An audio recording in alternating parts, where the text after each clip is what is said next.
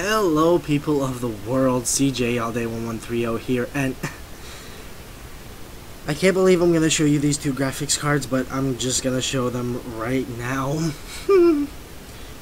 this is a little piece of history for me because I can't believe I'm, I, I can't believe I still have these cards, and I'm about to show you them.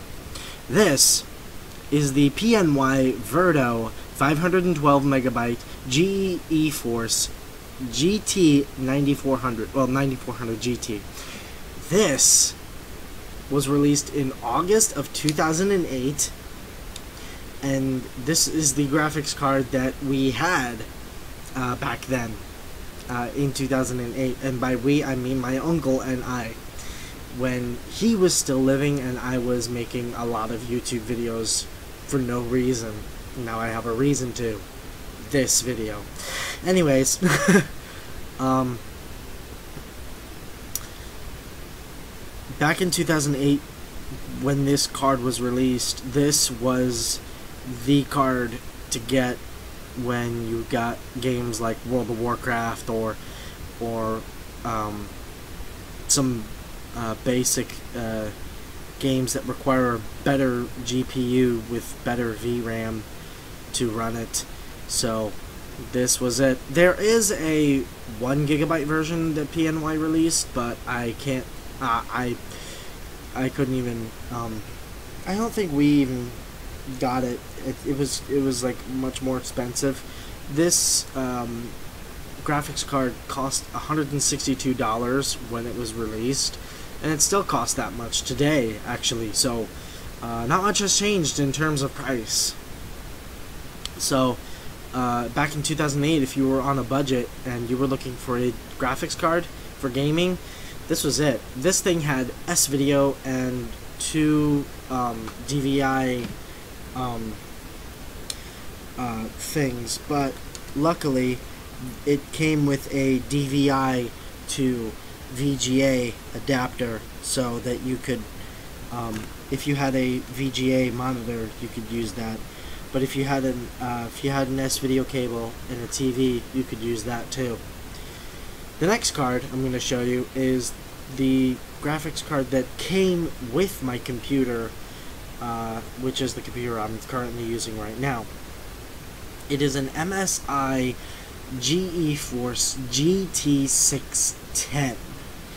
Uh, this is a 1 gigabyte VRAM, and let me tell you, it sucks. It can't even run um, Wolfenstein the New Order so well. I mean, it was terrible. It was really terrible, and I'm so glad I got rid of it. Well, I, I really didn't get rid of it because I just got it out of my computer and replaced it with the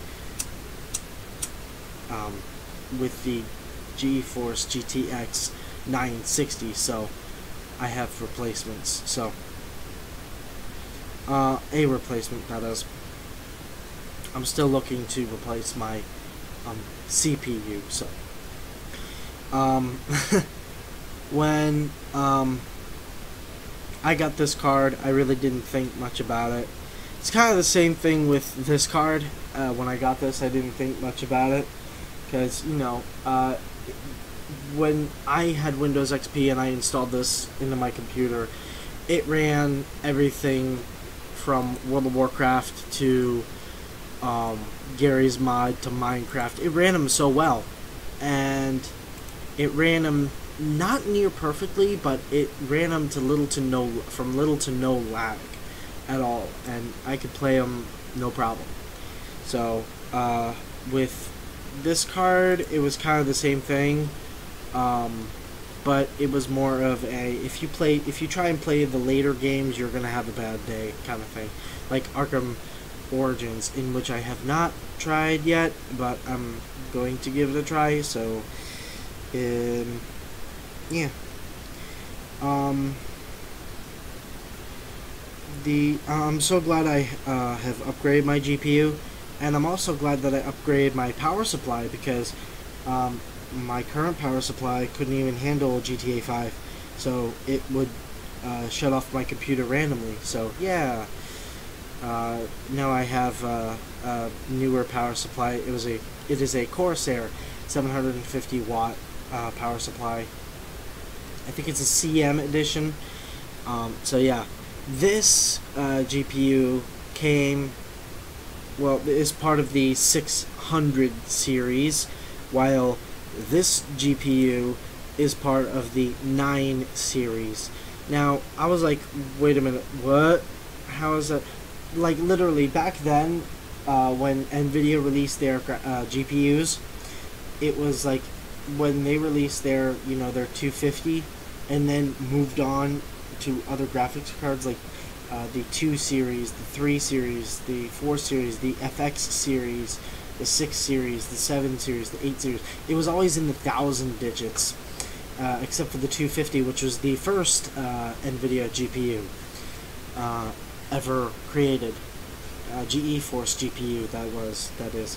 So, I'm probably going to give a history of all the GPUs, all the GeForce GPUs, that is. Uh, if you want me to do that, please let me know. Um, but yeah, enough of that. Uh, thank you guys for watching, and I will see you guys later.